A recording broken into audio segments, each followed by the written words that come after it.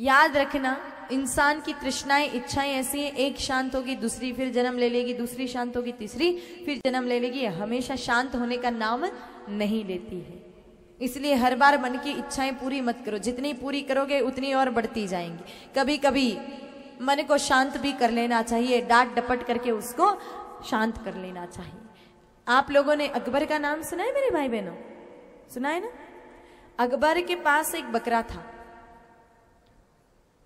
एक बार बकरे को सभा में लेके आए अकबर और कहा कि जो इस बकरे को संतुष्ट करके लेके आएगा, धपा करके लेके आएगा, मैं उसको बहुत सारी स्वर्ण मुद्राएँ दूँगा, धन दूँगा। दूसरे दिन लाइन लग गई बकरे को ले जाने वाले की। सारे लोग विचार कर रहे हैं कि बकरे को हम ले जाएँ और हम इसको धपा के लाए और स्वर्ण मुद्राएँ प्राप्त कर लें। एक दिन मेरे भाई बहन एक मंत्री का नंबर लगा। वो बकरे को ले गया, ले जा करके खूब घास खिलाई। खिलाता गया खिलाता गया खिलाता गया। शाम हो गई। फिर बकरे को सभा में लाए, कहा कि, शहनशाह, मैंने आपके बकरे को धपा दिया। कहा, कैसे मान लू कि ये धाप गया है? परीक्षा होगी। कहा, ले लो परीक्षा।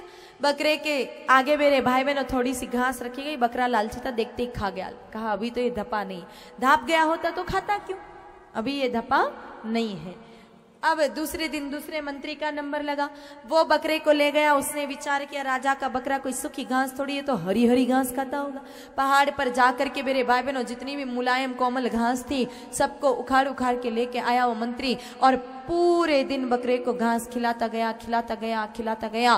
बकरे को खिला खिला करके मेरे भाई बहन और शाम तक तो अच्छा मोटा ताज़ा कर दिया। संध्या के समय जैसे ही बकरे को ले गए कहा कि शहनशाह बकरा धाव गया, कहा, नहीं, परीक्षा होगी। कहा, ले लो परीक्षा। बकरे के सामने थोड़ी सी मेरे भाई बहनों घास फिर रखी गई, बकरा लालची था, फिर खा गया। कहे तो अभी भी नहीं धपा अब तीसरे दिन बकरे को तीसरा मंत्री ले गया, उसने ले जाकर के विचार किया, राजा का बकरा है, कोई घास थोड़ी है तो सूखे में वे ड्राई फ्रूट्स खाता होगा। दिन भर काजू बादाम खिलाए। खिलाता गया खिलाता गया खिलाता गया। मेरे भाई बहनों, बकरा भी बड़ा आनंदित हो गया कि दो दिन तक तो घास और आज तो परमात्मा की कैसी कृपा हुई, सूखे मेवे मिल रहे हैं। खूब काजू बादाम खाए, शाम तक तो पेट भी फूल करके पेटारे जैसा बड़ा हो गया। अब बकरे को ले गए मेरे भाई बहनों, सभा में। सामने थोड़ी सी घास रखी, बकरा लालची था, फिर खा गया। अभी भी नहीं था चौथे दिन नंबर लगा बिरबल का। ले गया बकरे को, ले जाकर के एक सूखे से पहाड़ पर बाँध दिया। जहाँ घास तो छोड़ो, घास का तिनका भी मौजूद नहीं था। दिन भर भूखा रखा बकरे को। बकरा तो बेचारा परेशान हो गया, विचार कर रहा है कि, हे प्रभु, ये कैसे दिन दिखा रहे हो? तीन दिन तक तो आनंद था, मौज थी। और सूखे मेवे ड्राई फ्रूट्स खाने मिले हरी हरी घास खाने मिली। आज घास तो छोड़ो, घास के तिनके भी नज़र नहीं आ रहे हैं। आज तो पता नहीं क्या हुआ। शाम तक मेरे भाई बहनों बकरा भूख के मारे इतना परेशान हो गया कि उसका पेट जो फूल गया था वो भी पिचक गया और हड्डियाँ सामने दिखने लग गई।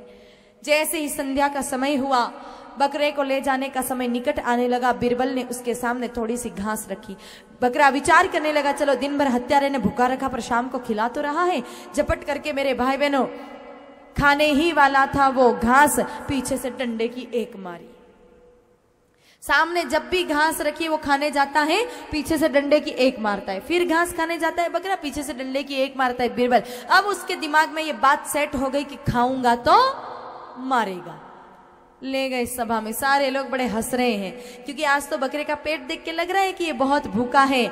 इसीलिए सारे मंत्री बड़े हंस रहे हैं। बकरे के सामने मेरे भाई बहनों अकबर ने थोड़ी सी घास रखी। बकरे को भूख तो बड़ी लगी थी, लेकिन टेढ़ी नज़रों से देखा बीरबल पीछे डंडा लेकर खड़ा है। विचार किया, खाऊँगा तो मारेगा। इसलिए डर के मारा, खाना तो छोड़ो। उसके सामने देखा भी नहीं। इधर अकबर को लगा कि बकरा धाप गया है, इसलिए सारी स्वर्ण मुद्राएँ मिल गई। बीरबल को। अब यहाँ पर इस कथानक का मतलब क्या है? हमारा मन उस बकरे की तरह है।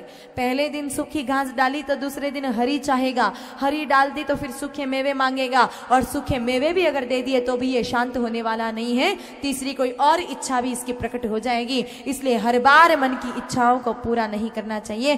कभी कभी वो बिरबल का डंडा दिखा करके उसको शांत भी बिठा लेना चाहिए। लेकिन कहा